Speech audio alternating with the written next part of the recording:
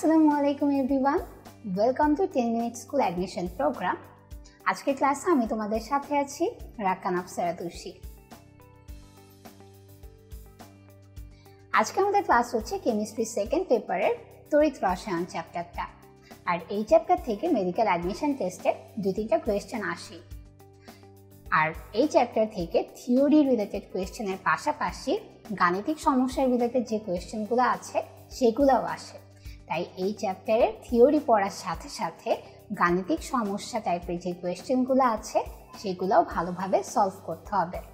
তাহলে চলো আজকের ক্লাস শুরু করা যাক। আজকের ক্লাসের আমাদের ফার্স্ট টপিক তড়িৎ পরিবাহী কাকে বলে? যে সব ধাতব অধাতব পদার্থের মধ্য দিয়ে তড়িৎ চলাচল করতে পারে, তাদেরকে বলে তড়িৎ পরিবাহী পদার্থ। আর যাদের মধ্য দিয়ে তড়িৎ চলাচল করতে পারে না, তাদেরকে বলে তড়িৎ অপরিবাহী পদার্থ। এখন এই তড়িৎ অপরিবাহী পদার্থের উদাহরণগুলো আমরা পড়ব একটা ছন্দের মাধ্যমে।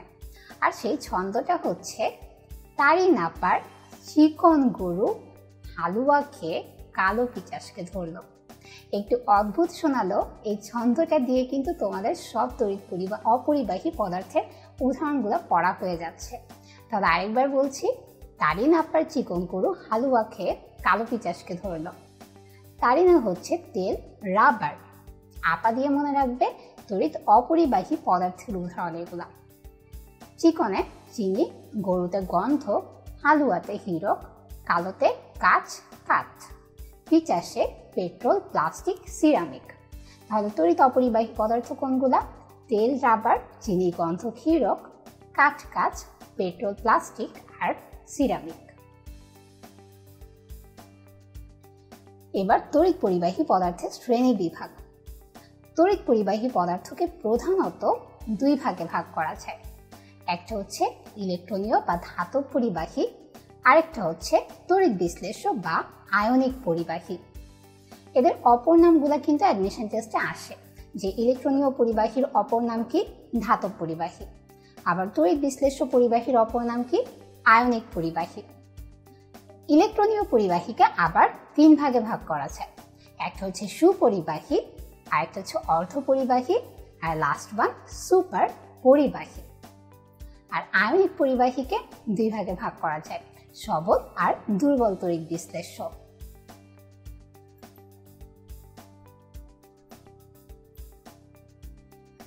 এবার আমরা সবল, দুর্বল আর তড়িৎ অবিশ্লেষ্যর উদাহরণগুলো পড়ব। দুর্বল তড়িৎ বিশ্লেষ্যের উদাহরণের জন্য আমরা আরেকটা ছন্দ পড়ব। সেটা হচ্ছে, শফিক ইথানকে অ্যামোনিয়াতে হাফ চুবালো। শফিক হচ্ছে সালফিউরাস অ্যাসিড, ফসফরিক অ্যাসিড আর কার্বনিক অ্যাসিড। ইথানে ইথানোইক অ্যাসিড, অ্যামোনিয়াতে অ্যামোনিয়া, হাফে হাইড্রোজেন ফ্লোরাইড আর চুবালোতে চুনের পানি। তাহলে দুর্বল তড়িৎ বিশ্লেষের উদাহরণের ছন্দ কি? শফিক ইথানকে অ্যামোনিয়াতে half চুবালো। Sulphurous acid, phosphoric acid, carbonic acid, ethanoic acid, ammonia, hydrogen fluoride আর চুনের পানি। এবার আমরা তড়িৎ অবিশ্লেষ্য পদার্থের উদাহরণটা পড়ব। আর এই উদাহরণ পড়ার জন্য আমরা আরেকটা ছন্দ পড়ব। আর তড়িৎ অবিশ্লেষ্য পদার্থের উদাহরণের ছন্দটা পড়ার জন্য ধরে নেই, তোমার ফ্রেন্ড আছে রাইসা, যার পায়ে খুব ব্যথা হলো। সে ডাক্তারের কাছে না গিয়ে কবিরাজের কাছে গেল। আর কবিরাজের কাছে যাওয়ার আগে সে পায়ে ক্লোজ আপ মেখে নিল। তাহলে তড়িৎ অবিশ্লেষ্য পদার্থের উদাহরণের ছন্দটা হচ্ছে, রাইসা ক্লোজ আপ পায়ে মেখে কবিরাজের কাছে গেল। রাইসাতে হচ্ছে রাবার, ইথানল, সুক্রোজ, গলিত সালফার ক্লোজ আপে ক্লোরোফল পায়েতে পানি। বিশুদ্ধ মেঘেতে মিথানল কবিরাজে কাঠ, কাছেতে কার্বন টেট্রাক্লোরাইড আর গেলোতে গ্লুকোজ। তাহলে তড়িৎ অবিশ্লেষ্য পদার্থগুলো কি কি? আরেকবার বলে দিচ্ছি। রাবার, ইথানল, সুক্রোজ, গলিত সালফার ক্লোরোফল কাঠ, কার্বন টেট্রাক্লোরাইড, বিশুদ্ধ পানি, মিথানল আর গ্লুকোজ। তাহলে আমাদের কিন্তু দুর্বল তড়িৎ বিশ্লেষ্য আর তড়িৎ অবিশ্লেষ্য পদার্থের উদাহরণগুলো পড়া হয়ে গেল। তাহলে এই উদাহরণগুলো বাদে বাকি যা থাকবে সবই হচ্ছে সবল তড়িৎ বিশ্লেষক তাহলে সবল তড়িৎ বিশ্লেষের উদাহরণগুলো আমরা একবার পড়ে নেই সবল তড়িৎ বিশ্লেষ হচ্ছে আয়নিক যৌগ যেমন সোডিয়াম ক্লোরাইড, পটাশিয়াম ক্লোরাইড দ্রবণ, তারপর hydrochloric acid, sulphuric acid, perchloric acid, sodium hydroxide, potassium hydroxide ইত্যাদি ক্ষার দ্রবণ। তাহলে কিন্তু আমাদের সবল তড়িৎ বিশ্লেষ্য, দুর্বল তড়িৎ বিশ্লেষ্য, তড়িৎ অবিশ্লেষ্য পদার্থ কোনগুলা? তা পড়া হয়ে গেল।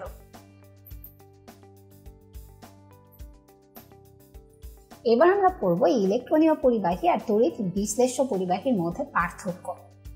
ইলেকট্রনীয় পরিবাহীতে সঞ্চরণশীল ইলেকট্রন দ্বারা তড়িৎ প্রবাহ চলে আর তড়িৎ বিশ্লেষ্য পরিবাহীতে সঞ্চরণশীল ধনাত্মক ও ঋণাত্মক আয়ন দ্বারা তড়িৎ প্রবাহ ঘটে।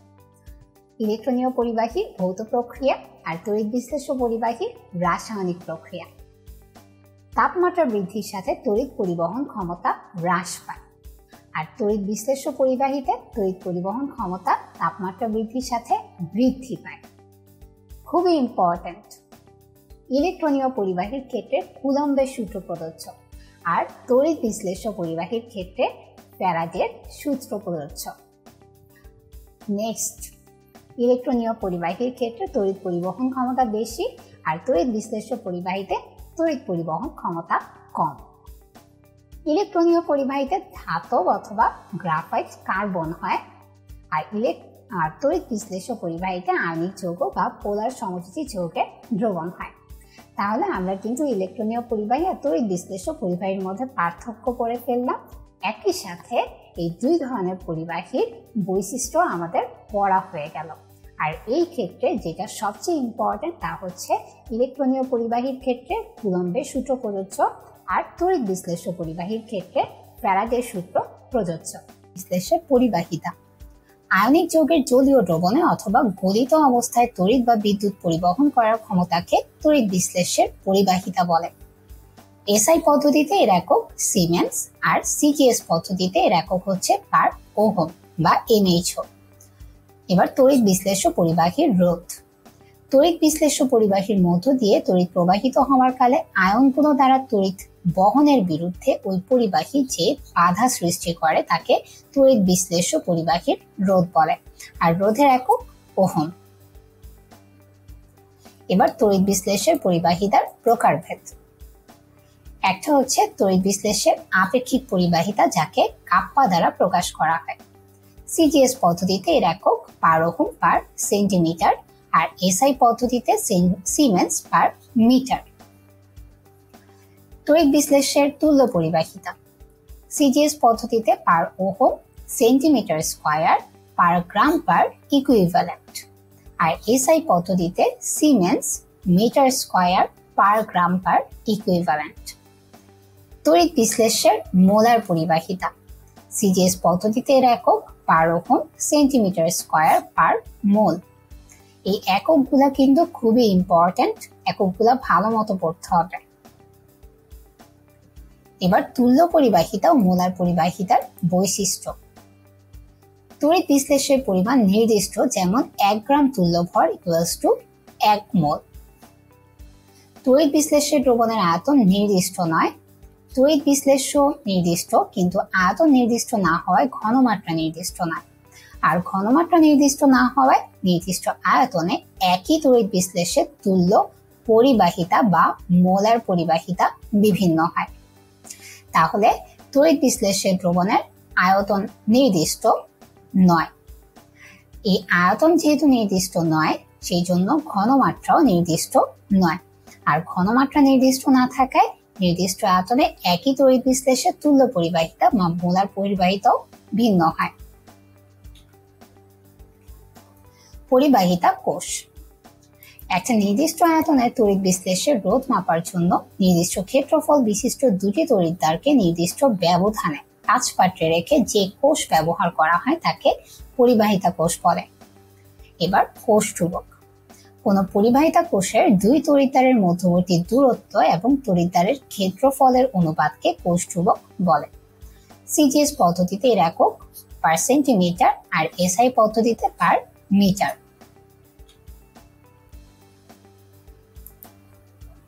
এবার আমরা কিছু ইম্পর্টেন্ট সংজ্ঞা পড়ব, সাথে এদের প্রতীক পড়ব। প্রথমে পড়ব তড়িৎ কাকে বলে। কোনো পরিবাহীর মধ্য দিয়ে ইলেকট্রনের প্রবাহকে তড়িৎ বা বিদ্যুৎ বলে। এর একক হলো কুলম আর প্রতীক সি তড়িৎ প্রবাহ। কোনো পরিবাহীর মধ্য দিয়ে ইলেকট্রন বা তড়িৎ চার্জের প্রবাহ হারকে তড়িৎ প্রবাহ বলা হয়। এর একক হলো অ্যাম্পিয়ার আর এর প্রতীক হলো এ অর্থাৎ প্রতি সেকেন্ডে পরিবাহীর মধ্য দিয়ে প্রবাহিত তড়িৎ চার্জের পরিমাণকে বলে অ্যাম্পিয়ার। এবার কুলম কোন পরিবাহীর মধ্য দিয়ে ওয়ান সেকেন্ড যাবত ওয়ান অ্যাম্পিয়ার তড়িৎ প্রবাহিত হওয়ার ফলে প্রবাহিত মোট চার্জের পরিমাণকে ওয়ান কুলম তড়িৎ প্রবাহ বলে। আর এর প্রতীক হলো C R one coulomb equals to one ampere into one second faraday কাকে বলে? এক মোল পরিমাণ ইলেকট্রনের চার্জকে ছিয়ানব্বই হাজার পাঁচশো কুলম ধরা হয়। মোল পরিমাণ তড়িৎ চার্জকে এক ফ্যারাডে চার্জ বলা হয়। এখানে একটু ভুল এসেছে, তা হচ্ছে এক মোল পরিমাণ তড়িৎ চার্জকে এক ফ্যারাডে চার্জ বলা হয়, যার প্রতীক হলো এফ অর্থাৎ ওয়ান ফ্যারাড ইকুয়ালস টু ছিয়ানব্বই হাজার পাঁচশো কুলম বিগত বছরের মেডিকেল অ্যাডমিশন টেস্টের question one farad equals to watt তাহলে ওয়ান ফ্যারাড ইকুয়ালস টু ছিয়ানব্বই হাজার পাঁচশো কুলম এবার আমরা পড়ব ফ্যারাডের প্রথম সূত্র। তড়িৎ বিশ্লেষণের সময় যে কোনো তড়িৎদ্বারে সংগঠিত রাসায়নিক বিক্রিয়ার পরিমাণ অথবা অর্থাৎ কোন তড়িৎদ্বারে সঞ্চিত বা দ্রবীভূত পদার্থের পরিমাণ প্রবাহিত বিদ্যুতের পরিমাণের সমানুপাতিক। তাহলে এখানে দ্রবীভূত পদার্থের পরিমাণ যদি হয় ডব্লিউ আর প্রবাহিত বিদ্যুৎ হয় কিউ তাহলে ডব্লিউ সমানুপাতিক কিউ তাহলে এখানে গাণিতিক সমীকরণ হবে W equals to Z IT যেখানে জেডটা হচ্ছে তড়িৎ রাসায়নিক তুল্যাঙ্ক।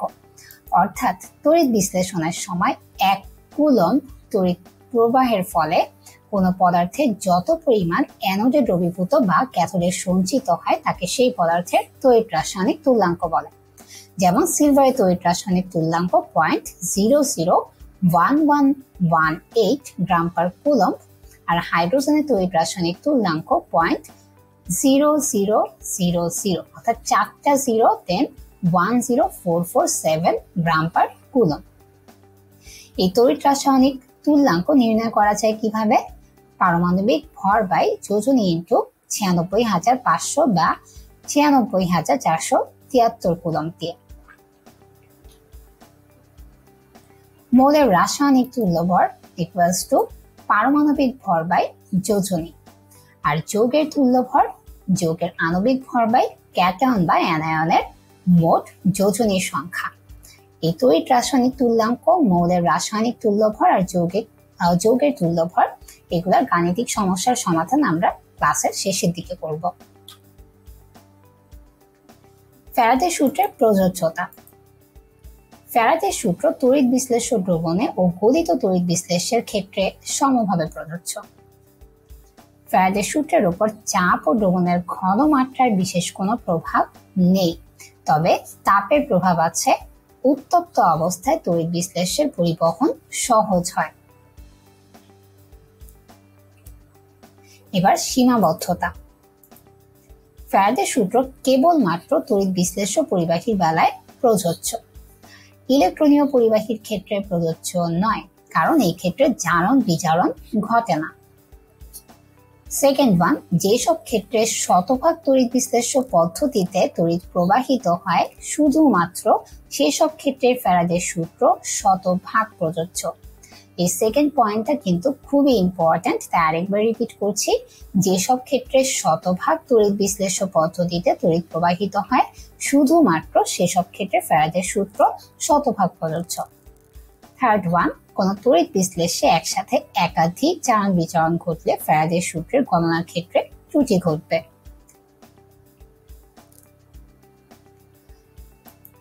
ক্যাথোডে পৌঁছে উভয় ধনাত্মক আয়নের মধ্যে কোনটি অগ্রাধিকার ভিত্তিতে বিচারিত হবে? আর অ্যানোডে পৌঁছে কোনটি অগ্রাধিকার ভিত্তিতে জারিত হবে তা নির্ভর করে তিনটা বিষয়ের উপর। একটা হচ্ছে তড়িৎ রাসায়নিক সারিতে সংশ্লিষ্ট আয়নের অবস্থান।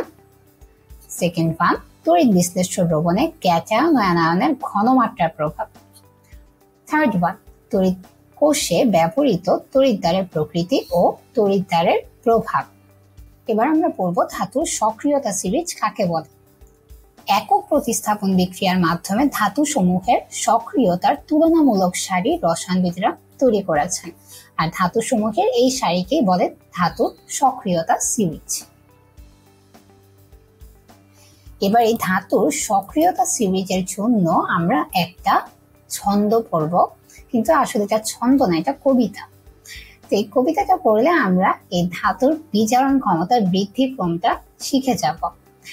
তাহলে চলো আমরা পড়ে ফেলি। লিতুকে বুড়ি কেন ডাকে? ম্যাকডাইভার এলো যেন মনে। কোমায় ফিরে কাঁদে কবি নিকোটিনে পাবে হাই, ক্যাবলা হাঁচি আজি পেটাবে আমায়।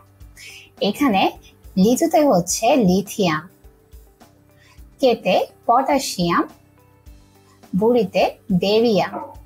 কেনতে ক্যালসিয়াম ডাকেতে কিছু নেই ম্যাকগাইভারে ম্যাগনেশিয়াম এলোতে সরি এলোতে অ্যালুমিনিয়াম, মনেতে ম্যাঙ্গানিস যেন জিঙ্ক, কোমায় ফিরে কাঁদে কবি, কোমাতে ক্রোমিয়াম, ফিরেতে আয়রন কাঁদেতে ক্যাডমিয়াম, কবিতে কোবাল্ট, নিকোটিনে নিকেল। আর এর টিনে হচ্ছে টিন। পাবেতে লেট হাইয়ে হাইড্রোজেন।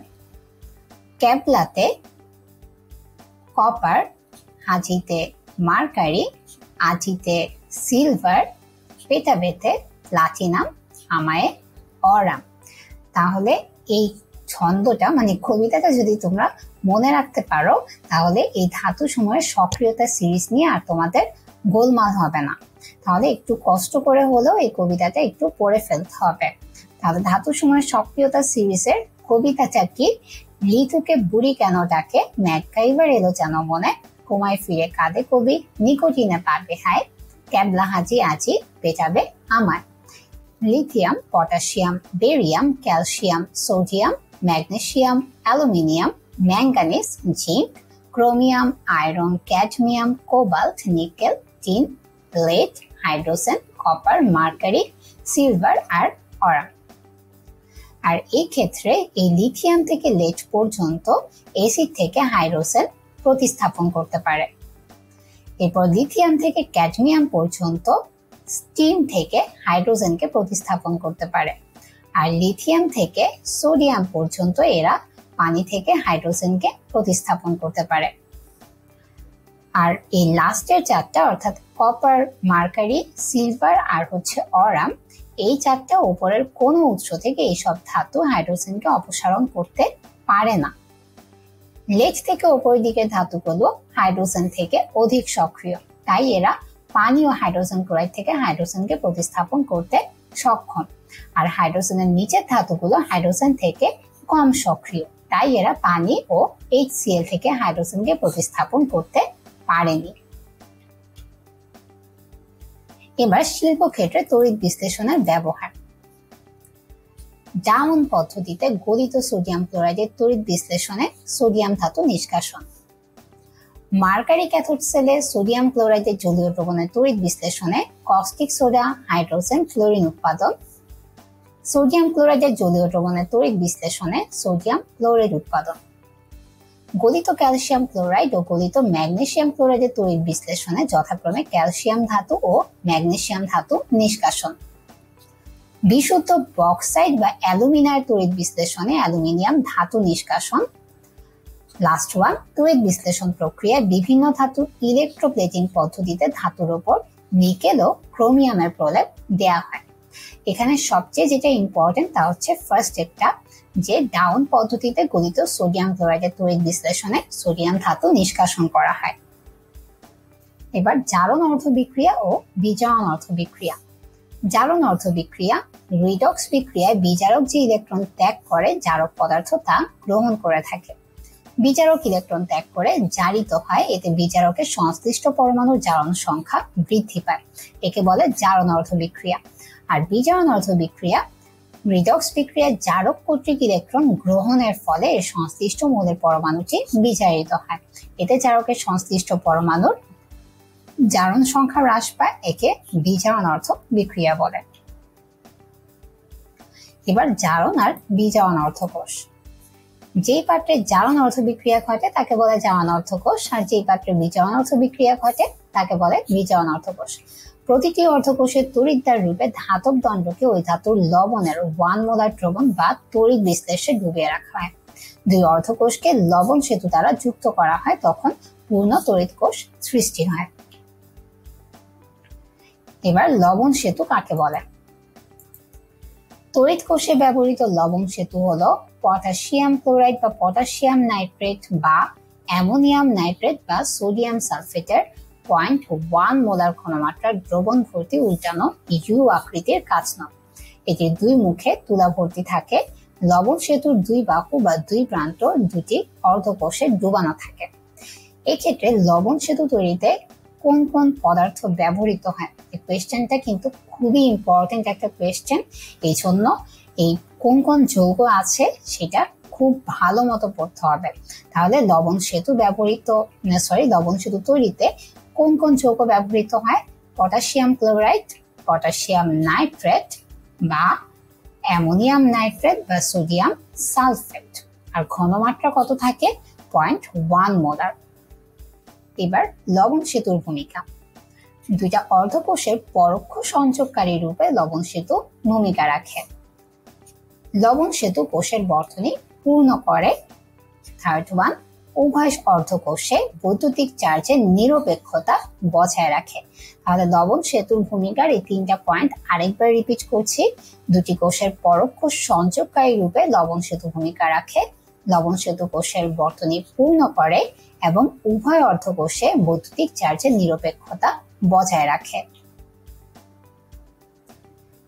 লবণ সেতুর বৈশিষ্ট্য লবণ সেতুতে ব্যবহৃত তড়িৎ বিশ্লেষের ক্যাটায়ন ও অ্যানায়নের গতিবেগ সমান বা প্রায় সমান হয়ে থাকে। তড়িৎ বিশ্লেষ্য তড়িৎ কোষের দ্রবণ দুটির সাথে কোনো বিক্রিয়া করবে না। তড়িৎ বিশ্লেষের আয়ন দুটি অ্যানোডে ও ক্যাথোডে জারিত বা বিচারিত হবে না। এবার প্রমাণ হাইড্রোজেন তড়িৎদ্বার। এখান থেকে খুবই ইম্পর্টেন্ট একটা কোয়েশ্চেন আসে, তা হচ্ছে প্রমাণ হাইড্রোজেন তড়িৎদ্বারের বিভবের মান কত? খুবই ইম্পর্টেন্ট একটা কোয়েশ্চেন প্রমাণ হাইড্রোজেন তড়িৎদ্বারের বিভবের মান শূন্য। তাহলে কোন তড়িৎদ্বার বিভবের মান সর্বসম্মতিক্রমে শূন্য ধরে এর সাথে পরীক্ষণীয় তড়িৎদ্বার সংযোগে সৃষ্ট কোষে উৎপন্ন ইএমএফ কে তড়িৎদ্বার বিভব ধরা হয়। সর্বজনীন রীতি অনুযায়ী প্রমাণ হাইড্রোজেন তড়িৎদ্বারের বিভবের মান শূন্য। যে একটু আগে আমরা পড়লাম, যে কোনো তড়িৎদ্বারের বিভব প্রমাণ হাইড্রোজেন তড়িৎদ্বারের আপেক্ষিকে মাপা হয়। এবার প্রমাণ তড়িৎদ্বার বিভব। বিভিন্ন তড়িৎদ্বার বিভবের তুলনামূলক মান প্রকাশের জন্য প্রতিটি তড়িৎদ্বারে তড়িৎ বিশ্লেষ্য দ্রবণের ঘনমাত্রা হবে ওয়ান মোলার এবং তাপমাত্রা টোয়েন্টি ফাইভ ডিগ্রি সেলসিয়াস বা টু নাইনটি এইট ক্যালভিন রাখা হয়। এ অবস্থায় প্রতিটি তড়িৎদ্বারের বিভবকে প্রমাণ তড়িৎদ্বার বিভব বলে। যেমন, প্রমাণ হাইড্রোজেন তড়িৎদ্বারের বিভবের মান হচ্ছে জিরো ভোল্ট এবার প্রাইমারি বা মুখ্য নির্দেশক তড়িৎদ্বার প্রমাণ হাইড্রোজেন তড়িৎদ্বারকে প্রাইমারি বা মুখ্য নির্দেশক তড়িৎদ্বার বলে। প্রমাণ হাইড্রোজেন তড়িৎদ্বারে অম্ল দ্রবণের ঘনমাত্রা হচ্ছে ওয়ান মোলার আর সেকেন্ডারি বা গৌণ নির্দেশক তড়িৎদ্বারের এই তিনটা পয়েন্ট খুবই ইম্পর্টেন্ট একটা হচ্ছে ক্যালোমেন তড়িৎদ্বার সিলভার সিলভার ক্লোরাইড তড়িৎদ্বার আর কুইন হাইড্রোন তড়িৎদ্বার তাহলে সেকেন্ডারি বা গৌণ নির্দেশক তড়িৎদ্বার কোনগুলা আরেকবার বলছি? ক্যালোমেল সিলভার সিলভার ক্লোরাইড আর কুইন হাইড্রোন তড়িৎদ্বার আর প্রমাণ হাইড্রোজেন তড়িৎদ্বার হলো প্রাইমারি বা মুখ্য নির্দেশক তড়িৎদ্বার যেখানে তড়িৎদ্বারে অম্ল দ্রবণের ঘনমাত্রা ওয়ান মোলার এবার কোষ বিভব কাকে বলে? কোন তড়িৎ কোষে অ্যানোড বা ঋণাত্মক ইলেকট্রন থেকে যে বিকর্ষণ বল দ্বারা ঋণাত্মক ইলেকট্রন সমূহ বিকর্ষিত হয়ে ক্যাথোডে বা ধনাত্মক ইলেকট্রনের দিকে ধাবিত হয়, তাকে ওই কোষের বিভব বা ইএমএফ বলে। এই কোষের ইএমএফ নির্ভর করে তিনটা বিষয়ের উপর। একটা হচ্ছে ধাতু প্রকৃতি সেকেন্ড ওয়ান দ্রবণের আয়নের ঘনমাত্রা লাস্ট ওয়ান দ্রবণের তাপমাত্রা। কোষের ইএমএফ হলো অ্যানোডের জারণ বিভব ও ক্যাথোডের বিভব মানের সমষ্টির সমান। তাহলে E cell equals to E anode plus E cathode বা ই ক্যাথোড মাইনাস ই এবার ই সেলের মান যদি জিরো থেকে বেশি হয়, অর্থাৎ ধনাত্মক হয়, সেই ক্ষেত্রে স্বতঃস্ফূর্তভাবে বিক্রিয়া ঘটবে।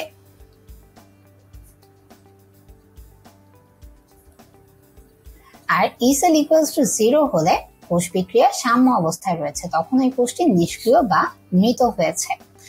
আর E cell less than zero হলে বা ঋণাত্মক হলে তখন কোষ বিক্রিয়া স্বতঃস্ফূর্ত নয়। তাহলে এই তিনটা পয়েন্টও কিন্তু মেডিকেল অ্যাডমিশন টেস্টের জন্য খুবই ইম্পর্ট্যান্ট যে ই সেলের মান ধনাত্মক হলে কোনটি ঘটবে? স্বতঃস্ফূর্তভাবে বিক্রিয়া ঘটবে। জিরো হলে সাম্য অবস্থায় রয়েছে বা কোষটি নিষ্ক্রিয় বা মৃত, আর ঋণাত্মক হলে কোষ বিক্রিয়া স্বতঃস্ফূর্তভাবে ঘটবে না। এই রিলেটেড গাণিতিক সমস্যার সমাধান আমরা ক্লাসের শেষের দিকে করব।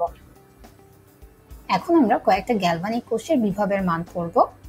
আর এই বিভবগুলার মান সিকোয়েন্স অনুযায়ী পড়ার জন্য আমরা আরেকটা ছন্দ পড়ব। অনেকক্ষণ পর আমরা একটা ছন্দ পড়ছি, আর তা হচ্ছে সেলিমের করিম ড্রাইভার আজকার ল্যাপটপ ভাঙলো। কোয়েশ্চেন মার্ক হবে। তাহলে সেলিমের করিম ড্রাইভার আজকার ল্যাপটপ ভাঙলোতে কি হচ্ছে?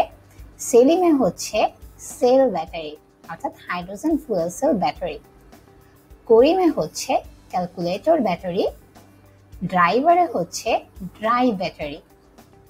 আজে হচ্ছে সিলভার ব্যাটারি, যেটা হচ্ছে ক্যালকুলেটর সিলভার বাটন ব্যাটারি।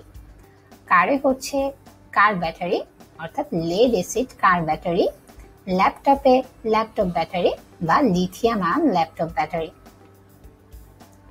আর এখানে সিকোয়েন্স অনুযায়ী মানটা কি? One point two three one point three zero one point five zero one point six zero two আর three point seven zero volt তাহলে ড্রাই ব্যাটারি বা শুষ্ক কোষ ব্যাটারির বিভবের মান হচ্ছে one point five zero lead acid car battery two volt calculator silver button battery one point six zero volt lithium ion laptop ব্যাটারির three point seven zero volt calculator ব্যাটারির one point three zero volt আর hydrogen fuel cell ব্যাটারির one point two three volt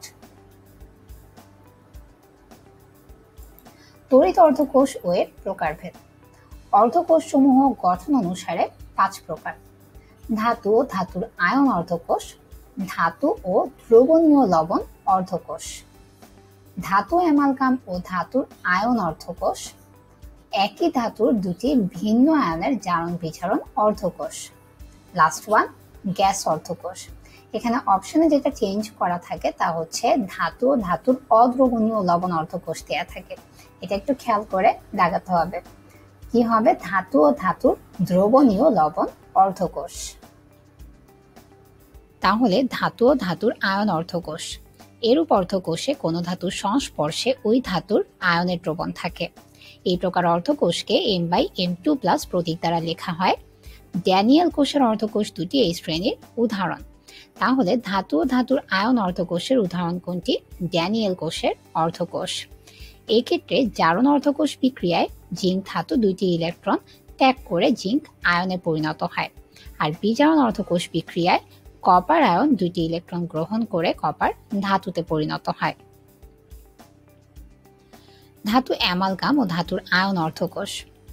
এক্ষেত্রে ধাতুটির জারণ দ্বারা ধাতব আয়নের রূপান্তর নিয়ন্ত্রিত হয়, যেমন সোডিয়াম অ্যামালগাম অর্ধকোষ, অর্থাৎ এনএইচজি বাই এনএ প্লাস এক্ষেত্রে অর্ধকোষ বিক্রিয়ায় সোডিয়াম ধাতুর জারণ দ্বারা সোডিয়াম আয়নের রূপান্তর নিয়ন্ত্রিত হয়। জারণ বিজারণ অর্ধকোষ। এক্ষেত্রে জারণ অর্ধকোষ বিক্রিয়ায় ফার্স্টে যেটা দেয়া আছে, ফেরাসায়ন ইলেকট্রন ত্যাগ করে ফেরিক আয়নে পরিণত হয় আর স্ট্যানাসায়ন ইলেকট্রন ত্যাগ করে স্ট্যানিক আয়নে রূপান্তরিত হয়। ব্যাটারি ডিসচার্জের সময় পানি উৎপন্ন হওয়ায় সালফিউরিক অ্যাসিডের ঘনত্ব কমে যায়। তাই সময় মতো হাইড্রোমিটার দিয়ে সালফিউরিক অ্যাসিড মিশ্রণের ঘনত্ব বা আপেক্ষিক গুরুত্ব দেখা হয়। তাহলে সালফিউরিক অ্যাসিড মিশ্রণের ঘনত্ব বা আপেক্ষিক গুরুত্ব দেখা হয় কোনটি দিয়ে? হাইড্রোমিটার দিয়ে। আর ব্যাটারি ডিসচার্জের সময় পানি উৎপন্ন হলে সালফিউরিক অ্যাসিডের ঘনত্ব কমে যায়। আবার রিচার্জের সময় পানি বিশ্লেষিত হয়ে হাইড্রোজেন ও অক্সিজেন উৎপন্ন হয় এবং পানি কমে যায়, তখন সালফিউরিক অ্যাসিডের ঘনত্ব বেড়ে যায়।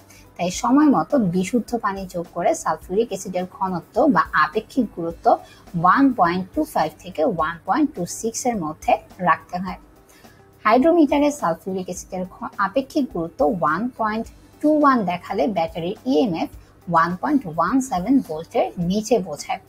এমসিকিউয়ের জন্য খুবই ইম্পর্ট্যান্ট হাইড্রোমিটারে সালফিউরিক অ্যাসিডের আপেক্ষিক গুরুত্ব ওয়ান পয়েন্ট টু ওয়ান দেখালে battery EMF one point one seven ভোল্টের নিচে বোঝায়। সালফিউরিক অ্যাসিডের ঘনত্ব কখনো ওয়ান পয়েন্ট টু ওয়ানের কাছাকাছি হলে ব্যাটারি পুনরায় চার্জ করতে হয়। লেড স্টোরেজ ব্যাটারির সুবিধা। এজন্য আমরা একটা ছন্দ পড়ব, তা হচ্ছে নোমানের চার্জ লাইট সহজেই রিচার্জেবল নোমানে হচ্ছে নিম্ন অভ্যন্তরীণ রোধ চার্জ লাইটে চার্জ লেভেল পরীক্ষা, সহজেতে সহজ প্রাপ্যতা আর রিচার্জেবলে রিচার্জেবল ব্যাটারি তাহলে লেড স্টোরেজ ব্যাটারি ব্যবহারের সুবিধা কি? নোমানের চার্জ লাইট সহজেই রিচার্জেবল নিম্ন অভ্যন্তরীণ রোধ আর রোধটা হচ্ছে point zero zero one ohm rechargeable battery charge level পরীক্ষা আর সহজ প্রাপ্যতা।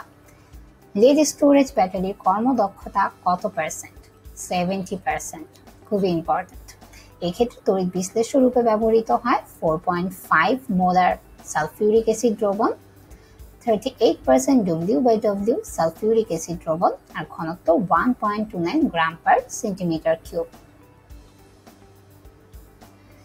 এবার লেড স্টোরেজ ব্যাটারির অসুবিধা।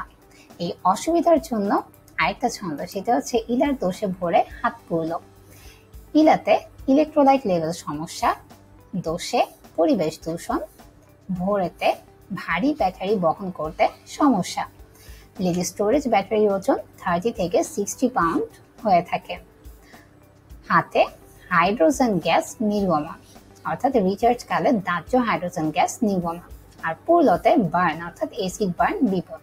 তাহলে লেড স্টোরেজ ব্যাটারি ব্যবহারের অসুবিধার ক্ষেত্রে ইলার দোষে ভরে হাত পুরল এসিড বার্ন বিপদ, রিচার্জ কালে দাহ্য হাইড্রোজেন গ্যাস নির্গমন, ইলেকট্রোলাইট লেভেল সমস্যা, ভারী ব্যাটারি বহন করতে সমস্যা আর পরিবেশ দূষণ। লিথিয়াম ব্যাটারি ও লিথিয়াম আয়ন ব্যাটারি নামে দুই ধরনের ব্যাটারি আছে। তাহলে প্রথমেই আমরা পড়ব লিথিয়াম ব্যাটারি। লিথিয়াম ব্যাটারি হলো প্রাইমারি ব্যাটারি এবং রিচার্জেবল নয়।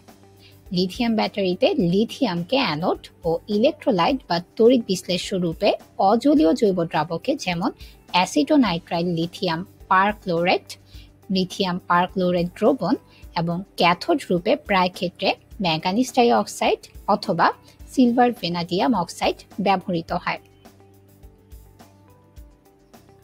মাত্র six point nine four gram lithium থেকে ওয়ান মোল ইলেকট্রন বা ওয়ান ফ্যারাডে বিদ্যুৎ উৎপাদন হয়।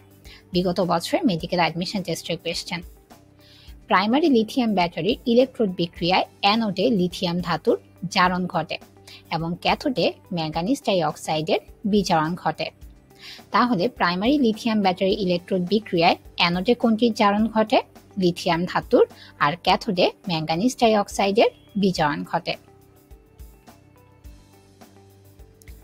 এবার lithium ion battery secondary lithium ion battery rechargeable battery এটি হলো লিথিয়াম ব্যাটারি সেকেন্ডারি সংস্করণ। লিথিয়াম ব্যাটারি ও লিথিয়াম আয়ন ব্যাটারির মধ্যে পার্থক্য হলো অ্যানোডের প্রকৃতিতে। লিথিয়াম ব্যাটারিতে অ্যানোড হলো লিথিয়াম ধাতু আর লিথিয়াম আয়ন ব্যাটারিতে অ্যানোড হলো দুই গ্রাফাইট শিটে আবদ্ধ লিথিয়াম পরমাণু, অর্থাৎ লিথিয়াম যুক্ত গ্রাফাইট। যাতে লিথিয়াম পরমাণু ইলেকট্রন ত্যাগ করে লিথিয়াম আয়নে পরিণত হয় এবং এই কারণে লিথিয়াম আয়ন ব্যাটারি নামকরণ করা হয়েছে। লিথিয়াম ব্যাটারিতে ক্যাথোড হল ম্যাঙ্গানিজ ডাই অক্সাইড অথবা সিলভার ভেনাডিয়াম অক্সাইড।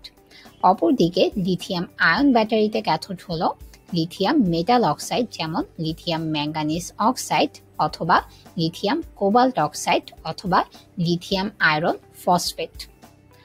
অজলীয় তড়িৎ বিশ্লেষ্য বা ইলেকট্রোলাইট হলে জৈব দ্রাবক যেমন ডাইমিথাইল কার্বনেট ও ইথাইল মিথাইল কার্বনেট মিশ্রণে লিথিয়াম হেক্সাফ্লোরো ফসফেটের ওয়ান মোলার দ্রবণ। লিথিয়াম ব্যাটারির সুবিধা দুইটা পয়েন্ট খুবই ইম্পর্ট্যান্ট আর তা হচ্ছে ফার্স্ট ওয়ান ওজনে হালকা সেকেন্ড ওয়ান পরিবেশ দূষণ কম হয় পাওয়ার ও স্থায়িত্ব।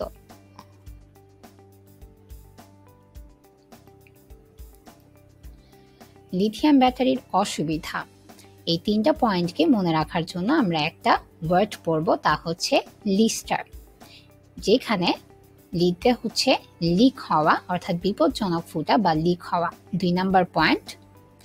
আর স্টারের, স্টাতে হচ্ছে স্টোরেজে সুবিধা। কমার্শিয়াল স্টোরেজে সুবিধা, তিন নাম্বার পয়েন্ট। আর লাস্টের রথে হচ্ছে রিচার্জেবল নয়, ফার্স্ট পয়েন্টটা। তাহলে লিথিয়াম ব্যাটারি অসুবিধার জন্য আমরা কি পড়ব? লিস্টার। লিস্টারে কি বিপজ্জনক ফুটা বা লিক হওয়া রিচার্জেবল নয় আর কমার্শিয়াল স্টোরেজে সুবিধা।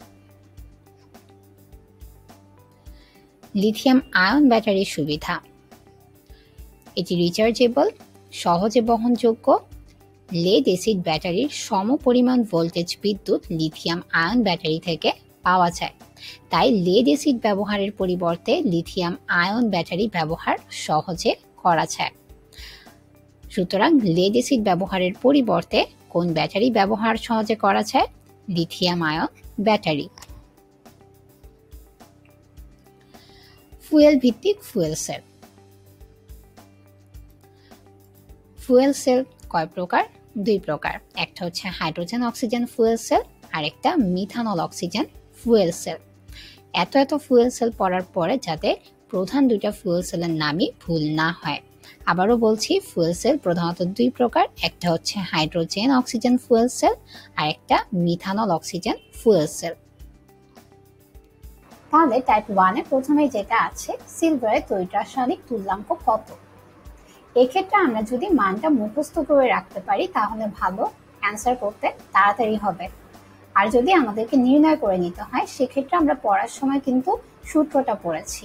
সেই ফর্মুলা অ্যাপ্লাই করে আমরা তড়িৎ রাসায়নিক তুল্যাঙ্কের মান নির্ণয় করে ফেলব। তাহলে সিলভারের তড়িৎ রাসায়নিক তুল্যাঙ্ক নির্ণয়ের ক্ষেত্রে আমরা কি করব? এর পারমাণবিক ভর one zero seven point eight by এর যোজনী ওয়ান ইন্টু ছিয়ানব্বই হাজার পাঁচশো। ক্যালকুলেশন করলে আসবে point zero zero one one one eight gram per coulomb second question কপারের রাসায়নিক তুল্যভর কত? কোন মৌলের রাসায়নিক তুল্যভর নির্ণয়ের ক্ষেত্রে ফর্মুলাটা হচ্ছে এর পারমাণবিক ভর বাই যোজনী। তাহলে এই ক্ষেত্রে কপারের রাসায়নিক তুল্যভর নির্ণয় করতে গেলে আমরা কি করব? এর পারমাণবিক ভর সিক্সটি থ্রি পয়েন্ট ফাইভকে এর যোজনী দুই দ্বারা ভাগ করে দিব। অ্যান্সার হবে thirty one point seven five এরপর কপার সালফেটের তুল্যভর যৌগের তুল্যভর নির্ণয়ের ক্ষেত্রে ফর্মুলাটা হবে আণবিক ভর বাই এর যোজনী ইন্টু এখানে ক্যাটায়ন বা অ্যানায়নের মোট সংখ্যা। অর্থাৎ এখানে কপার কয়টা আছে সেটা দেখতে হবে। অর্থাৎ ক্যাটায়ন বা অ্যানায়নের মোট সংখ্যা। তাহলে কপার সালফেটের আণবিক ভর কত? One fifty nine point five আর এর যোজনী দুই, আর এখানে কপার আছে একটা। ক্যালকুলেশন করলে হবে seventy nine point seven five একইভাবে নেক্সট কোয়েশ্চেন সালফিউরিক অ্যাসিডের তুল্য ভর নির্ণয় করতে হবে। এখানে সালফিউরিক অ্যাসিডের আণবিক ভর কত? নাইনটি এইট আর হাইড্রোজেনের যোজনী এক, আর হাইড্রোজেন আছে দুইটা। তাহলে ওয়ান ইন্টু টু নাইনটি এইটকে টু দিয়ে ভাগ করলে ফোরটি নাইন এখন আমরা পড়ব হাইড্রোজেন ফুয়েল সেলের সুবিধা। ফার্স্ট ওয়ান ক্রমাগত শক্তির উদ্ভব। সেকেন্ড ওয়ান দূষণ মুক্ত কার্য। হাইড্রোজেন ফুয়েল সেল একটি গ্রিনার, অর্থাৎ পরিবেশ বান্ধব বিদ্যুৎ উৎপাদনকারী কৌশল বা জেনারেটর। থার্ড ওয়ান উচ্চ কার্যক্ষমতা। ফুয়েল সেলে ফুয়েলের রাসায়নিক শক্তি, অর্থাৎ বন্ধন শক্তি, প্রায় সেভেন্টি ফাইভ পার্সেন্ট ব্যবহারযোগ্য বিদ্যুৎ শক্তিতে পরিণত হয়। অপরদিকে কয়লা ভিত্তিক বিদ্যুৎ উৎপাদন কেন্দ্রে চল্লিশ পার্সেন্ট এবং গ্যাসোলিন জ্বালানি ব্যবহৃত কার ইঞ্জিনে মাত্র পঁচিশ পার্সেন্ট ব্যবহারযোগ্য শক্তি পাওয়া যায়। আর এটি নবায়নযোগ্য জ্বালানির উৎস। তাহলে হাইড্রোজেন ফুয়েল সেলের সুবিধার মেইন চারটা পয়েন্ট কি কি? একটা হচ্ছে ক্রমাগত শক্তির উদ্ভব আরেকটা দূষণমুক্ত কার্য থার্ড পান উচ্চ কার্যক্ষমতা আর লাস্ট নবায়নযোগ্য জ্বালানির উৎস। আয়ন সিলেক্টিভ ইলেকট্রোড দ্বারা পরিমাপযোগ্য আয়ন।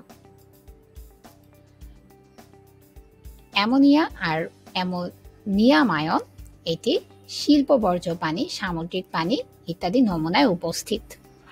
কার্বন ডাইঅক্সাইড বাইকার্বনেট, রক্ত আর ভূপৃষ্ঠের পানিতে উপস্থিত। ফ্লোরাইড আয়ন, পানীয় জল, প্রস্রাব, মাটি, শিল্পে আবদ্ধ গ্যাসে উপস্থিত। ব্রোমাইড আয়ন, শস্য আর উদ্ভিদ কোষে উপস্থিত। আয়োডাইড আয়ন, এটা খুবই ইম্পর্ট্যান্ট দুধ আর ফার্মাসিউটিক্যালে উপস্থিত। নাইট্রেট আয়ন, পানীয় জল, মাটি, সারে উপস্থিত। পটাশিয়াম আয়ন, এটাও খুবই ইম্পর্ট্যান্ট রক্তের সিরাম, মাটি, মদে উপস্থিত। হাইড্রোজেন আয়ন ল্যাবরেটরি দ্রবণ, প্রাকৃতিক পানি আর মাটিতে উপস্থিত। সেম সোডিয়াম কার্বনেটের তুল্য ভর কত? সোডিয়াম কার্বনেটের আণবিক ভর ওয়ান জিরো সিক্স সোডিয়ামের যোজনী ওয়ান আর সোডিয়াম আছে দুইটা। One into two one zero সিক্সকে two দিয়ে ভাগ করলে অ্যান্সার হবে ফিফটি থ্রি এবার চলে আসি আমরা টাইপ টুতে ফার্স্ট কোয়েশ্চেন কপার সালফেট দ্রবণের মধ্য দিয়ে ফাইভ অ্যাম্পিয়ার তড়িৎ প্রবাহিত ফাইভ সেকেন্ড ধরে চালনা করলে সরি এখানে একটু ভুল এসেছে, এখানে হবে ফাইভ সেকেন্ড ধরে তড়িৎ প্রবাহ চালনা করলে। কি পরিমাণ কপার জমা হবে? সেকেন্ড ওয়ান সিলভার নাইট্রেট দ্রবণের মধ্য দিয়ে সিক্স মিনিট যাবৎ ফাইভ অ্যাম্পিয়ার তড়িৎ চালনা করলে ক্যাথোডে কত গ্রাম সিলভার জমা হবে? এই টাইপের কোয়েশ্চেন থাকলে আমরা W equals to Z IT formula apply করব। তাহলে ফার্স্টে যেটা আছে কপার সালফেট দ্রবণের মধ্য দিয়ে ফাইভ অ্যাম্পিয়ার তড়িৎ প্রবাহ করলে ফাইভ সেকেন্ড ধরে কি পরিমাণ কপার জমা হবে।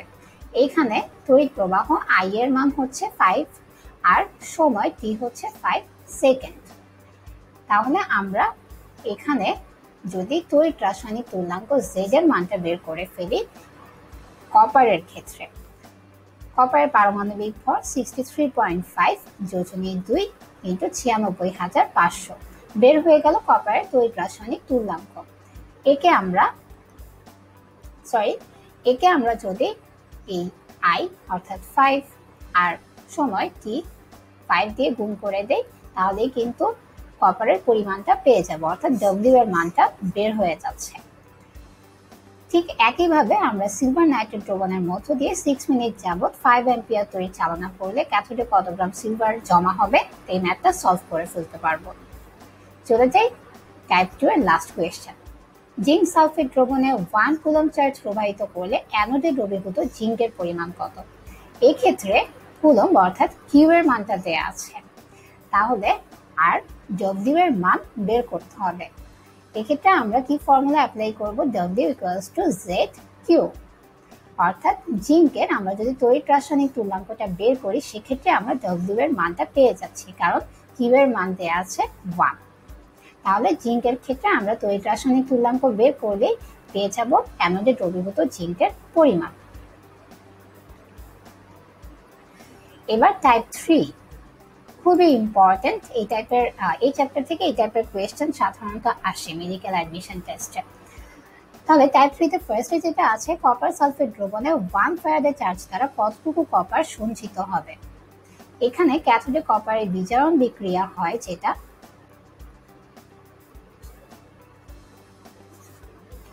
অর্থাৎ ওয়ান মোল কপারের জন্য ওয়ান ফ্যারাডে বিদ্যুৎ প্রয়োজন।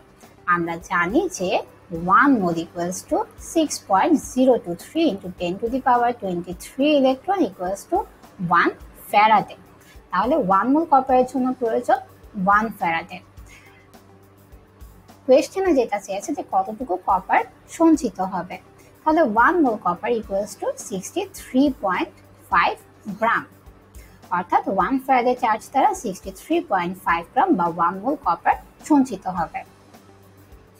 সেম নেক্সট কোয়েশ্চেনে লিথিয়াম ব্যাটারিতে ওয়ান ফ্যারাডে বিদ্যুৎ উৎপন্ন করতে কত গ্রাম লিথিয়াম প্রয়োজন?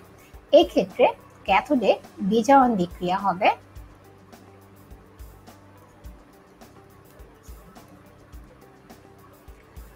অর্থাৎ ওয়ান মোল লিথিয়ামের জন্য প্রয়োজন ওয়ান ফ্যারাডে বিদ্যুৎ।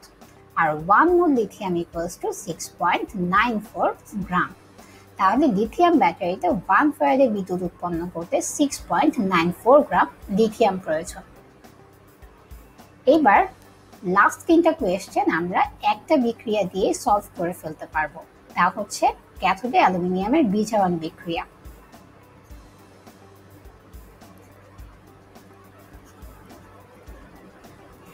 First one one gram aluminium পেতে কত ফ্যারাডে বিদ্যুৎ লাগে? এখানে ওয়ান মোল অ্যালুমিনিয়ামের জন্য প্রয়োজন থ্রি ফ্যারাডে বিদ্যুৎ। আর one mole aluminium equals to twenty seven gram সুতরাং টোয়েন্টি সেভেন গ্রামের জন্য লাগে থ্রি ফ্যারাডে বিদ্যুৎ। অর্থাৎ ওয়ান গ্রামের জন্য লাগবে থ্রি বাই টোয়েন্টি সেভেন বা ওয়ান বাই নাইন ফ্যারাডে বিদ্যুৎ। এই বিক্রিয়া থেকে এখন আমরা সেকেন্ড কোয়েশ্চেনটা সলভ করব। ওয়ান মোল বিকলিত অ্যালুমিনিয়াম অক্সাইডের ভেতর দিয়ে কত ফ্যারাডে বিদ্যুৎ চালনা করলে সম্পূর্ণভাবে ধাতব পদার্থ ক্যাথোডে সঞ্চিত হবে? তাহলে এখানে ওয়ান মোল অ্যালুমিনিয়ামের জন্য প্রয়োজন কত? থ্রি ফ্যারাডে বিদ্যুৎ। অর্থাৎ ওয়ান মোল বিকলিত অ্যালুমিনিয়াম অক্সাইডের ভেতর দিয়ে থ্রি ফ্যারাডে বিদ্যুৎ চালনা করলে সম্পূর্ণরূপে ধাতব পদার্থ ক্যাথোডে সঞ্চিত হবে। Last question twenty seven gram aluminium ক্যাথোডে জমা হতে কি পরিমাণ বিদ্যুৎ লাগবে? এখানে আমরা জেনেছি one mole equals to twenty seven gram তাহলে টোয়েন্টি সেভেন গ্রাম অ্যালুমিনিয়াম ক্যাথোডে জমা হতে থ্রি ফ্যারাডে বিদ্যুৎ লাগবে। এবার টাইপ ফোর জিঙ্ক ও কপারের বিজারণ বিভব দেয়া আছে। এই ক্ষেত্রে copper ion plus zinc zinc ion এর বিক্রিয়ায় ইএমএফ অর্থাৎ ই নট সেলের মান নির্ণয় করতে হবে। এখানে কপার আয়ন বিচারিত হচ্ছে। আর মান দেয়া আছে দুইটাই জারণ বিভব সরি বিজারণ বিভবের। তাহলে যেহেতু জিঙ্কের জারণ করছে সেক্ষেত্রে আমরা জিঙ্কের জারণ বিভব লিখে নিই পয়েন্ট সেভেন সিক্স ভোল্ট এবার আমরা জানি যে ই নট সেল বা ইএমএফ এর মান নির্ণয়ের জন্য সূত্র হচ্ছে E anode plus E cathode এখন অ্যানোডের মান কত? প্লাস পয়েন্ট সেভেন সিক্স আর ক্যাথোডে হচ্ছে প্লাস পয়েন্ট থ্রি ফোর সুতরাং অ্যান্সার হচ্ছে point one point one one volt আমরা পেয়ে গেলাম ইএমএফ বা ইনট নট সেলের মান। এবার চলে যাই আমরা টাইপ ফাইভে লোহার পাত্রে কপার সালফেট দ্রবণ রাখা যাবে কিনা? এই টাইপের কোয়েশ্চেন যদি আসে সেই ক্ষেত্রে যেই পাত্র থাকবে তাকে আমরা ধরে নিব অ্যানোড আর দ্রবণটাকে ধরে নিব ক্যাথোড তাহলে অ্যানোডে ঘটবে জারণ আর ক্যাথোডে ঘটে বিজারণ। মান দেওয়া আছে দুইটাই বিজারণ বিভবের। তাহলে অ্যানোডে যেহেতু জারণ ঘটে সেই ক্ষেত্রে এখানে আয়রনের জারণ বিভব হবে plus point four four volt সেক্ষেত্রে ইএমএফ এর মান কত হচ্ছে? Point sorry point four four plus point three four volt অর্থাৎ পয়েন্ট সেভেন এইট এক্ষেত্রে ইএমএফ এর মান যদি গ্রেটার দেন জিরো হয়, অর্থাৎ ধনাত্মক হয়। সেই ক্ষেত্রে কিন্তু বিক্রিয়া স্বতঃস্ফূর্তভাবে ঘটে, অর্থাৎ লোহার পাত্রে কপার সালফেট দ্রবণ রাখা যাবে না। আর যদি ইএমএফ এর মান ঋণাত্মক হয়, অর্থাৎ জিরো থেকে কম হয়, সেই ক্ষেত্রে কোষে বিক্রিয়া করবে না, অর্থাৎ পাত্রে দ্রবণ রাখা যাবে। যেমন জিঙ্ক ধাতুর পাত্রে নিকেল সালফেট দ্রবণ রাখা যাবে কিনা এই ক্ষেত্রে ইএমএফ এর মান ধনাত্মক হবে। অর্থাৎ কোষে বিক্রিয়া ঘটবে, তাই জিঙ্ক ধাতুর পাত্রে নিকেল সালফেট দ্রবণ রাখা যাবে না। তাই আমরা লাস্ট পয়েন্টটা সলভ করব। কপার ধাতুর পাত্রে ম্যাগনেসিয়াম সালফেট দ্রবণ রাখা যাবে কিনা। এক্ষেত্রে কপার ধাতু হচ্ছে অ্যানোড অ্যানোডের জারণ ঘটবে, কিন্তু এখানে কপারের বিজারণ বিভবের মান দেওয়া আছে। তাহলে জারণ বিভব হবে minus three four volt point three four volt অর্থাৎ এক্ষেত্রে ইএমএফ এর মান হচ্ছে plus minus point two two point three অর্থাৎ minus point three four minus two point three EMF এর মানটা কিন্তু এখানে ঋণাত্মক আসছে। অর্থাৎ এই ক্ষেত্রে কিন্তু বিক্রিয়া ঘটছে না। তাহলে কপার ধাতুর পাত্রে ম্যাগনেসিয়াম সালফেট দ্রবণ রাখা যাবে। আমরা এই চ্যাপ্টারে খুবই গুরুত্বপূর্ণ কিছু গাণিতিক সমস্যা শিখে ফেললাম, যেগুলো মেডিকেল অ্যাডমিশন টেস্টের জন্য খুবই গুরুত্বপূর্ণ। বেশি বেশি প্র্যাকটিস করলে ইজিলি তোমরাও মেডিকেল অ্যাডমিশন টেস্টে অ্যান্সার করে ফেলতে পারবে। এখন আমরা তৈরি রসায়ন চ্যাপ্টারে কিছু গুরুত্বপূর্ণ গাণিতিক সমস্যার সমাধান করব। তাহলে টাইপ ওয়ানে প্রথমে যেটা আছে সিলভারের তৈরি রাসায়নিক তুল্যাঙ্ক কত? এক্ষেত্রে আমরা যদি মানটা মুখস্থ করে রাখতে পারি, তাহলে ভালো। অ্যান্সার করতে তাড়াতাড়ি হবে। আর যদি আমাদেরকে নির্ণয় করে নিতে হয়, সেক্ষেত্রে আমরা পড়ার সময় কিন্তু সূত্রটা পড়েছি। সেই ফর্মুলা অ্যাপ্লাই করেই আমরা তড়িৎ রাসায়নিক তুল্যাঙ্কের মান নির্ণয় করে ফেলব। তাহলে সিলভারের তড়িৎ রাসায়নিক তুল্যাঙ্ক নির্ণয়ের ক্ষেত্রে আমরা কি করব? এর পারমাণবিক ভর one zero seven point eight by এর যোজনী ওয়ান ইন্টু ছিয়ানব্বই হাজার পাঁচশো। ক্যালকুলেশন করলে আসবে point zero zero one one one eight gram per coulomb second question কপারের রাসায়নিক তুল্যভর কত? কোন মৌলের রাসায়নিক তুল্যভর নির্ণয়ের ক্ষেত্রে ফর্মুলাটা হচ্ছে এর পারমাণবিক ভর বাই যোজনী। তাহলে এই ক্ষেত্রে কপারের রাসায়নিক তুল্যভর নির্ণয় করতে গেলে আমরা কি করব? এর পারমাণবিক ভর সিক্সটি থ্রি পয়েন্ট ফাইভ কে এর যোজনী দুই দ্বারা ভাগ করে দিব। অ্যান্সার হবে thirty one point seven five এরপর কপার সালফেটের তুল্যভর। যৌগের তুল্যভর নির্ণয়ের ক্ষেত্রে ফর্মুলাটা হবে আণবিক ভর বাই এর যোজনী ইন্টু এখানে ক্যাটায়ন বা অ্যানায়নের মোট সংখ্যা। অর্থাৎ এখানে কপার কয়টা আছে সেটা দেখতে হবে। অর্থাৎ ক্যাটায়ন বা অ্যানায়নের মোট সংখ্যা। তাহলে কপার সালফেটের আণবিক ভর কত? One fifty nine point five আর এর যোজনী দুই, আর এখানে কপার আছে একটা। ক্যালকুলেশন করলে হবে seventy nine point seven five একইভাবে নেক্সট কোয়েশ্চেন সালফিউরিক অ্যাসিডের তুল্য ভর নির্ণয় করতে হবে। এখানে সালফিউরিক অ্যাসিডের আণবিক ভর কত? নাইনটি এইট আর হাইড্রোজেনের যোজনী এক, আর হাইড্রোজেন আছে দুইটা। তাহলে ওয়ান ইন্টু টু, নাইনটি এইটকে টু দিয়ে ভাগ করলে ফোরটি নাইন। সেম সোডিয়াম কার্বনেটের তুল্য ভর কত? সোডিয়াম কার্বনেটের আণবিক ভর ওয়ান জিরো সিক্স সোডিয়ামের যোজনী ওয়ান আর সোডিয়াম আছে দুইটা। One into two one zero সিক্সকে two দিয়ে ভাগ করলে অ্যান্সার হবে ফিফটি থ্রি এবার চলে আসি আমরা টাইপ টুতে ফার্স্ট কোয়েশ্চেন কপার সালফেট দ্রবণের মধ্য দিয়ে ফাইভ অ্যাম্পিয়ার তড়িৎ প্রবাহিত ফাইভ সেকেন্ড ধরে চালনা করলে সরি এখানে একটু ভুল এসেছে, এখানে হবে ফাইভ সেকেন্ড ধরে তড়িৎ প্রবাহ চালনা করলে। কি পরিমাণ কপার জমা হবে? সেকেন্ড ওয়ান সিলভার নাইট্রেট দ্রবণের মধ্য দিয়ে সিক্স মিনিট যাবৎ ফাইভ অ্যাম্পিয়ার তড়িৎ চালনা করলে ক্যাথোডে কত গ্রাম সিলভার জমা হবে? এই টাইপের কোয়েশ্চেন থাকলে আমরা W equals to Z IT formula apply করব। তাহলে ফার্স্টে যেটা আছে কপার সালফেট দ্রবণের মধ্য দিয়ে ফাইভ অ্যাম্পিয়ার তড়িৎ প্রবাহ করলে ফাইভ সেকেন্ড ধরে কি পরিমাণ কপার জমা হবে। এইখানে তড়িৎ প্রবাহ আই এর মান হচ্ছে ফাইভ আর সময় টি হচ্ছে ফাইভ সেকেন্ড তাহলে আমরা এখানে যদি তড়িৎ রাসায়নিক তুলনাঙ্ক জেড এর মানটা বের করে ফেলি কপারের ক্ষেত্রে।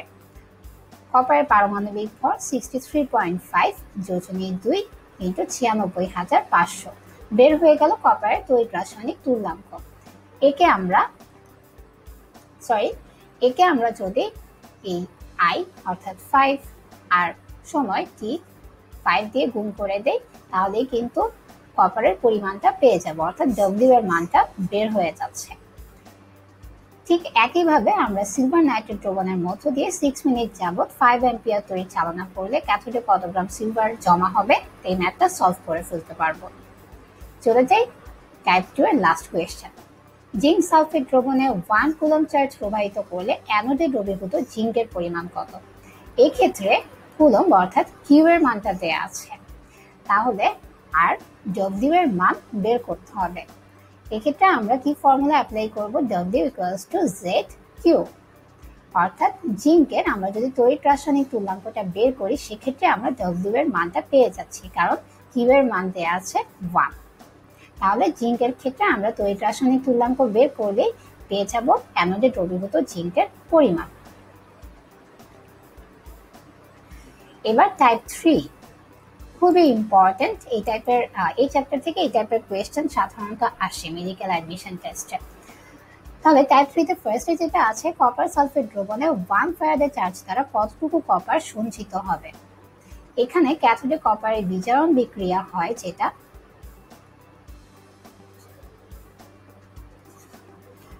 অর্থাৎ ওয়ান কপারের জন্য ওয়ান ফ্যারাডে বিদ্যুৎ প্রয়োজন। আমরা জানি যে one mole equals to six point zero two three into ten to the power twenty three electron equals to one faraday তাহলে ওয়ান মোল কপারের জন্য প্রয়োজন?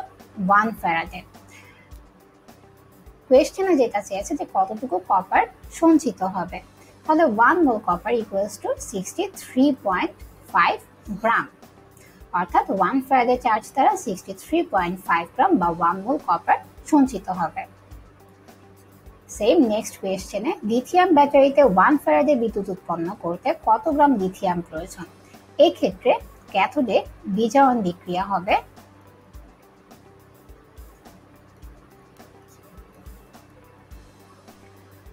অর্থাৎ ওয়ান মোল লিথিয়ামের জন্য প্রয়োজন ওয়ান ফ্যারাডে বিদ্যুৎ। আর one mole lithium equals to six point nine four gram. তাহলে লিথিয়াম ব্যাটারিতে ওয়ান ফ্যারাডে বিদ্যুৎ উৎপন্ন করতে six point nine four gram lithium প্রয়োজন। এবার লাস্ট তিনটা কোয়েশ্চেন আমরা একটা বিক্রিয়া দিয়ে সলভ করে ফেলতে পারব। তা হচ্ছে ক্যাথোডে অ্যালুমিনিয়ামের বিজারণ বিক্রিয়া।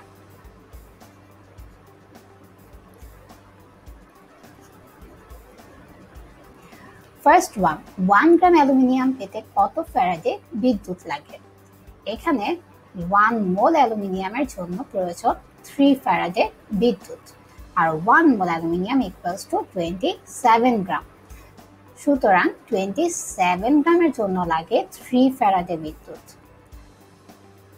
অর্থাৎ ওয়ান গ্রামের জন্য লাগবে থ্রি বাই টোয়েন্টি সেভেন বা ওয়ান বাই নাইন ফ্যারাডে বিদ্যুৎ। এই বিক্রিয়া থেকে এখন আমরা সেকেন্ড কোয়েশ্চেনটা সলভ করব। ওয়ান মোল বিকলিত অ্যালুমিনিয়াম অক্সাইডের ভেতর দিয়ে কত ফ্যারাডে বিদ্যুৎ চালনা করলে সম্পূর্ণভাবে ধাতব পদার্থ ক্যাথোডে সঞ্চিত হবে। তাহলে এখানে ওয়ান মোল অ্যালুমিনিয়ামের জন্য প্রয়োজন কত থ্রি ফ্যারাডে বিদ্যুৎ। অর্থাৎ ওয়ান মোল বিকলিত অ্যালুমিনিয়াম অক্সাইডের ভেতর দিয়ে থ্রি ফ্যারাডে বিদ্যুৎ চালনা করলে সম্পূর্ণরূপে ধাতব পদার্থ ক্যাথোডে সঞ্চিত হবে। Last question twenty seven gram aluminium ক্যাথোডে জমা হতে কি পরিমাণ বিদ্যুৎ লাগবে? এখানে আমরা জেনেছি one mole equals to twenty seven gram তাহলে টোয়েন্টি সেভেন গ্রাম অ্যালুমিনিয়াম ক্যাথোডে জমা হতে থ্রি ফ্যারাডে বিদ্যুৎ লাগবে। এবার টাইপ ফোর জিঙ্ক ও কপারের বিজারণ বিভব দেয়া আছে। এই ক্ষেত্রে copper ion plus zinc zinc ion এর বিক্রিয়ায় ইএমএফ অর্থাৎ ই নট সেলের মান নির্ণয় করতে হবে। এখানে কপার আয়ন বিচারিত হচ্ছে। আর মান দেয়া আছে দুইটাই জারণ বিভব সরি বিজারণ বিভবের। তাহলে যেহেতু জিঙ্কের জারণ ঘটছে সেক্ষেত্রে আমরা জিঙ্কের জারণ বিভব লিখে নিই পয়েন্ট সেভেন সিক্স ভোল্ট এবার আমরা জানি যে ই নট সেল বা ইএমএফ এর মান নির্ণয়ের জন্য সূত্র হচ্ছে E anode plus E cathode এখন অ্যানোডের মান কত? প্লাস পয়েন্ট সেভেন সিক্স আর ক্যাথোডে হচ্ছে প্লাস পয়েন্ট থ্রি ফোর সুতরাং অ্যান্সার হচ্ছে point one point one one volt আমরা পেয়ে গেলাম ইএমএফ বা ই নট সেলের মান। এবার চলে যাই আমরা টাইপ ফাইভে লোহার পাত্রে কপার সালফেট দ্রবণ রাখা যাবে কিনা? এই টাইপের কোয়েশ্চেন যদি আসে সেই ক্ষেত্রে যেই পাত্র থাকবে তাকে আমরা ধরে নিব অ্যানোড আর দ্রবণটাকে ধরে নিব ক্যাথোড তাহলে অ্যানোডে ঘটবে জারণ আর ক্যাথোডে ঘটে বিজারণ। এখানে মান দেওয়া আছে দুইটাই বিজারণ বিভবের। তাহলে অ্যানোডে যেহেতু জারণ ঘটে সেই ক্ষেত্রে এখানে আয়রনের জারণ বিভব হবে plus point four four volt সেক্ষেত্রে ইএমএফ এর মান কত হচ্ছে? Point sorry point four four plus point three four volt অর্থাৎ পয়েন্ট সেভেন এইট এক্ষেত্রে ইএমএফ এর মান যদি গ্রেটার দেন জিরো হয় অর্থাৎ ধনাত্মক হয়। সেই ক্ষেত্রে কিন্তু বিক্রিয়া স্বতঃস্ফূর্তভাবে ঘটে, অর্থাৎ লোহার পাত্রে কপার সালফেট দ্রবণ রাখা যাবে না। আর যদি ইএমএফ এর মান ঋণাত্মক হয়, অর্থাৎ জিরো থেকে কম হয়, সেই ক্ষেত্রে কোষে বিক্রিয়া করবে না, অর্থাৎ পাত্রে দ্রবণ রাখা যাবে। যেমন জিঙ্ক ধাতুর পাত্রে নিকেল সালফেট দ্রবণ রাখা যাবে কিনা এক্ষেত্রে ইএমএফ এর মান ধনাত্মক হবে।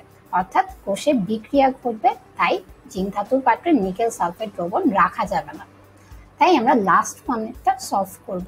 কপার ধাতুর পাত্রে ম্যাগনেসিয়াম সালফেট দ্রবণ রাখা যাবে কিনা।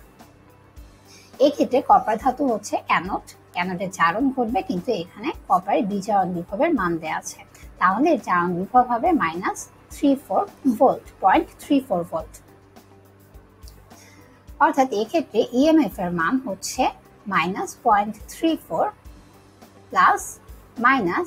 point two two point three অর্থাৎ minus point three four minus two point three EMF এর মানটা কিন্তু এখানে ঋণাত্মক আসছে। অর্থাৎ এই ক্ষেত্রে কিন্তু বিক্রিয়া ঘটছে না। তাহলে কপার ধাতুর পাত্রে ম্যাগনেসিয়াম সালফেট দ্রবণ রাখা যাবে। আমরা এই চ্যাপ্টারে খুবই গুরুত্বপূর্ণ কিছু গাণিতিক সমস্যা শিখে ফেললাম, যেগুলো মেডিকেল অ্যাডমিশন টেস্টের জন্য খুবই গুরুত্বপূর্ণ। বেশি বেশি প্র্যাকটিস করলে ইজিলি তোমরাও মেডিকেল অ্যাডমিশন টেস্টে অ্যান্সার করে ফেলতে পারবে। আজকের ক্লাস এই পর্যন্তই। আশা করি এই চ্যাপ্টার থেকে মেডিকেল অ্যাডমিশন টেস্টে যেসব কোয়েশ্চেন আসবে, তা তোমাদের কমন পড়বে এবং তোমরা ইজিলি অ্যান্সার করতে পারবে। পরবর্তী ক্লাস পর্যন্ত সবাই ভালো থাকো, সুস্থ থাকো।